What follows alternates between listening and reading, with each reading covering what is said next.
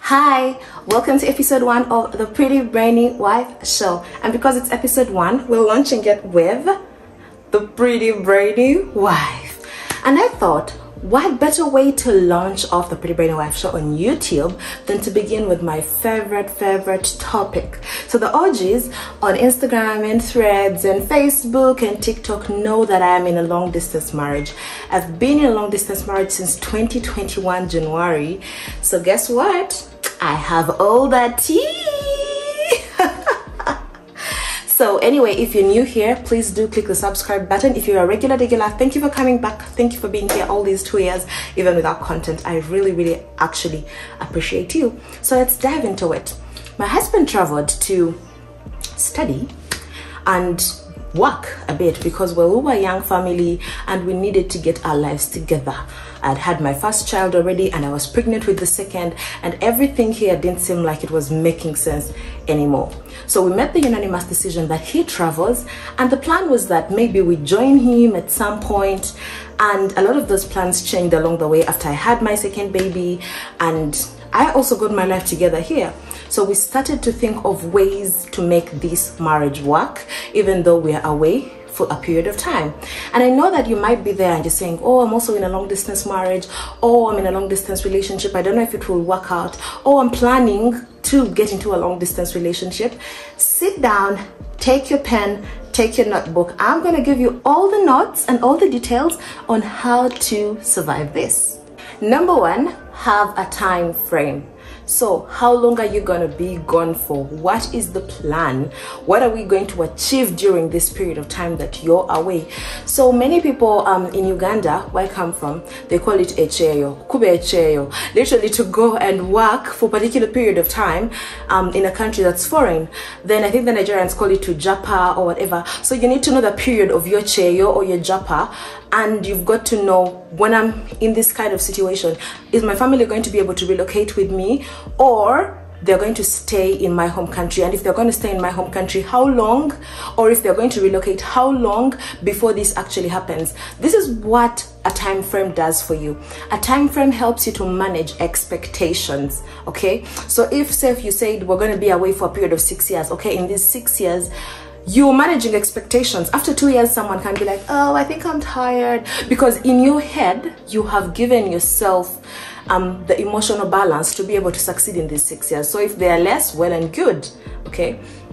Many people also make plans of how to visit each other regularly if that's possible. So you need to also have that in mind. Like the country that this person is going to, is it um, are they able to come back? Am i able to visit them? Like what are the procedures? What are the processes that i need to go through? Do i have um, the legitimacy to be able to do so? Or does he or she have the legitimacy to be able to do so? So it's very important for you to have a time frame in mind and also um, how long is this going to be and how is it going to work you just can't enter a long distance relationship or marriage just like okay you're going to Jinja 70 kilometers away, bye bye. That's so simple. But guys, if it's to like a different country altogether, you need to have a system in place on how it's going to work. You need to have a plan. Number two, Hmm. Technology, technology is your friend. First time, do video calls as much as you can. One thing that I have realized over time is that phone conversations and text messages are never enough to read into people's feelings and moods and attitudes. So even though you're just working around friendships and work relationships and whatever, sometimes someone might text something in a group and you think you interpret it in a really, really different way, and yet that wasn't the purpose of the person that was writing it. So I have learned over time that video calls are the real boss chick for me or real boss guy for him. They really really do the job. So what happens is every time you're having a sensitive conversation you can read someone's attitude you can read their mood. Um even even on a random plain conversation you can see that someone is unhappy you can see that today they seem a little low and so you know how to navigate it. So please don't spare any data don't spare any airtime. Make sure that you're always doing those video calls. They are the real deal. If you're in just a relationship and not a marriage, you need to distinguish between if you see this person in your future or if they were just a fling because it's very important to establish those things before you actually step at the airport yeah? If you see this person in your future and you've both discussed and you're like okay so we see each other in each other's futures. You're going to treat this like a marriage like a long distance marriage. You're going to put in the work the same effort um the same energy because you're seeing this as a long-term relationship. I know a lot of people who have broken up you know because the other person is going to travel because they don't see a future together. Say you've been dating for a while and um, this person is like you know what? I don't know for how long i'm going to be gone. I don't know I don't know if I can trust you to be sane and keep yourself safe while I'm gone. So let's just end it. Maybe we can resume it when you know i come back. And usually that never happens guys. It never really does happen unless okay there are exceptions to the general rule but it really really never does happen. So you need to establish that fact in your head. Like do if you're just in a relationship do i really want to be with this person? Do i see this person in my future? And then you're going to put in the work to ensure that you keep that relationship alive. Number four managing feelings so one thing that I've come over time to realize is that feelings are not reality. I might feel lonely, but in essence, I'm actually not lonely. I might feel horny, but in essence, I'm actually not horny. Like you need to establish the source of those feelings. For instance, I love rom-coms. I am such a big fan of romantic comedies. They are the real thing for me. But sometimes when you watch those um, romantic scenes, you sometimes get a feeling of, oh, I think I'm really lonely. I think I really miss my husband or I think I really miss my wife, whatever the case might be. So you're going to keep away from those things. You're going to find the roots of the things that make you get those feelings and approach them right away. If it's loneliness and maybe you have a couple of friends that are hanging out without you or whatever, and then um, you sit at home and realize that you're actually lonely and you're like, oh, I wish my partner was here, then you're going to take away that loneliness. You're going to say, okay, so I need to have more social battery, I need to have more social capital to be able to take away this feeling of loneliness. So you need to distinguish your feelings from reality because you see these feelings? You know what the Bible says about these feelings? The Bible says that if you trust your heart, it's going to lead you in a ditch. The heart is where the feelings are. So if you're trusting your feelings, like, oh my God, I'm horny, I'm horny, I'm horny, the next guy that texts you or the next girl that texts you, you're going to work on those feelings and then you'll end up in an affair.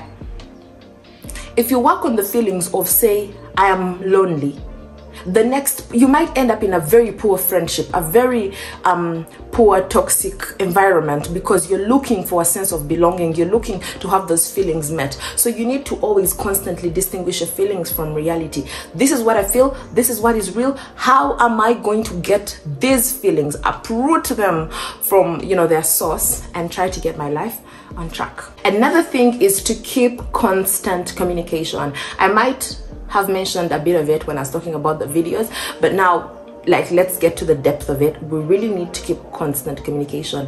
What is constant communication all about?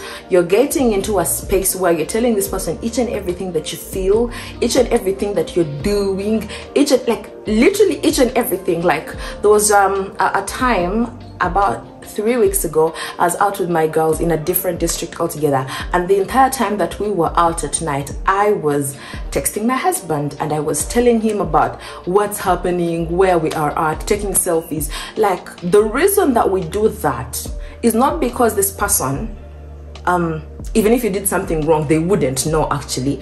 But you need to keep holding that cement of trust. The person needs to feel like they can trust you at all times regardless okay?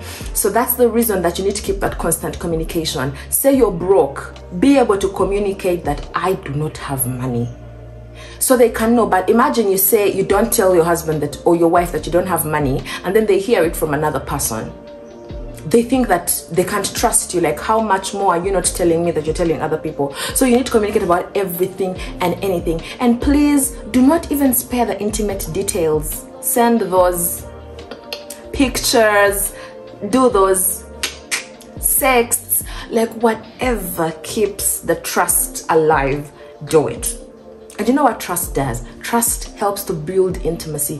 You can only be so intimate with someone that you actually trust. So imagine you're with this person they're far away miles far away and you feel like you can trust them they feel like they can trust you they are more motivated to get back into you know being in a relationship with you other than thinking or feeling other things you know and in some other ways so communicate each and everything clearly feelings anger uh, sadness loneliness um, sexual feelings, whatever you need to communicate with your partner, do that. Also, it helps you not to fall into the trap of speaking about those things with other people which can sometimes lead to emotional affairs, which, you know, go down the slippery slope of sexual affairs. And lastly, lastly, this is my top tip, the word. If you're watching this and you're not a Christian, I don't know how to apply it for you, but I'm going to apply it for my Christian girlies and guys. The word. You see me? I can't hold myself. it is so hard for you to keep sexually pure except if there is the one and the biggest problem of um long distance relationships and marriages actually is sexual impurity. Like it's so easy to fall down that, that slippery slope. And let me tell you what the word of god does for you. The word of god reminds you that you're more than your feelings. The word of god reminds you that your loyalty is not just to your partner but to god as well. The word of god reminds you that you're more than just a sexual person. You're more than just an emotional person. That you're bigger bigger than everything. And for me the word of god helped me in such a way that it helped me to find purpose okay it helped me to find purpose in my long distance marriage. I realized that i'm bigger than just being a wife. My husband realized he's bigger than just being a husband because we share these things. Communication we share these things. So we realized that okay so what's your purpose? What's my purpose? Before you married me what was i created for? Before i married you what were you created for? So once you find those things it's easy to work on your individual purpose along the way as you're waiting for your partner to come through. There are things that i have done for instance um guys my my instagram urges no anyway um i've been doing marriage counseling for a year now but that's something i didn't think i was actually good at it. I didn't think it was something that i was a natural at until you know my husband left. And then i realized that now i'm finding who i am who i am meant to be who i am created to be. And i realized that that was the path that god was leading me to. So keeping in prayer, keeping in the word is going to help you to define certain things. The word of God says that do not push ancient boundaries that your forefathers laid. And for me, I like to interpret it in such a way that don't push boundaries. The word of God helps you not to push boundaries. If you realize you're becoming too friendly to a girl or becoming too friendly to a guy that is not your spouse, let that relationship go, let that friendship go. You're going to learn to keep your boundaries. The word of God is going to teach you to interpret your emotions in a godly way. That even if you see your friends that are a couple and they're kissing it doesn't do anything to you because you know that you have a covenant that is bigger than your feelings. So the word of god 100% highly recommend so if you're in a long distance relationship or marriage, or you're going to be in one, or you know someone that is in one, I highly recommend that you save this video and share it with all of your contacts, all of your friends. Help them to be encouraged and to keep firm because sometimes life happens and we need to also happen to life. This has been the Pretty Brainy Wife, Joy Sissy. I am so glad that you could be with me all this while. Don't forget to hit the subscribe button, share this with all your contacts. Until next time, I love you. God bless you.